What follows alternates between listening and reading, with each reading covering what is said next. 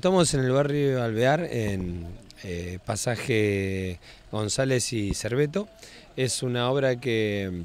eh, estaban pidiendo desde hace mucho tiempo los vecinos del pasaje, eh, que sufrían anegamientos porque no tenían conectado